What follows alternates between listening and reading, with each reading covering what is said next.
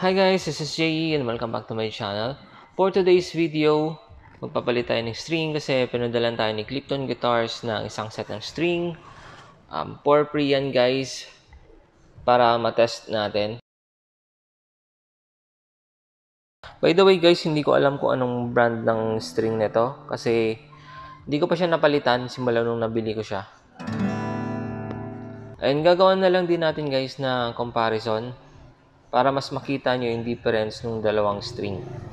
So tara, palitan na natin.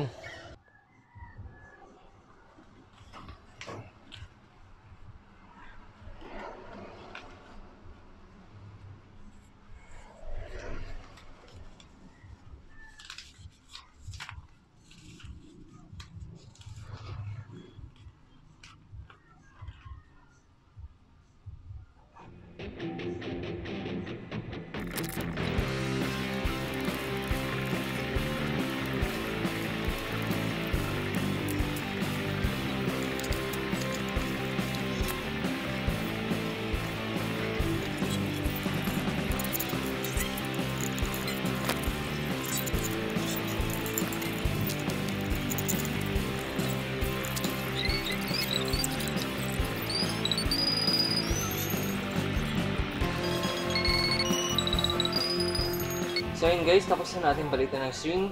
Ngayon, tetesting na natin siya.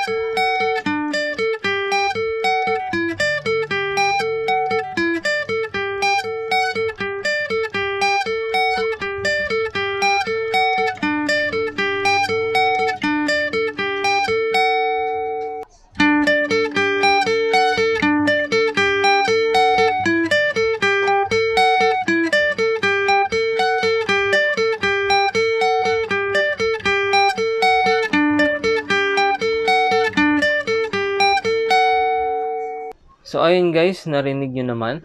So far, sobrang gaan ng string na to. Ang lambot niya sa kamay. Hindi siya mabigat pindutin. And ang daling lumipat ng chords. Kasi parang madula siya. So, yung string na to, recommended din siya sa mga beginner kasi ang lambot niya. Hindi kayo mahirapang magpipindot ng chords. Eh, hindi kayo mahirapang maglipat-lipat ng chords. Lalong-lalo na sa mga nag-aaral pa lang. Struggle talaga yung mga flat chords na yan. So, dito, ang lambot niya sa gitara guys. And kung compare naman natin to dun sa stock na string dito sa gitara ko, so obvious na mas malambot to and mas clean yung tunog compare dun sa lumang string ko. So, approve na approve sa akin to. So, ayun guys, sana nagustuhan nyo and sana may natutunan kayo. And maraming maraming salamat sa Clipton Guitar sa pinadala yung string. Approve na approve siya sa akin. And sa mga gustong subukan din yung string na to, ito yung Facebook page na and ilalagay ko din yung link sa description below. So ayun guys, thank you ulit and see you in my next video.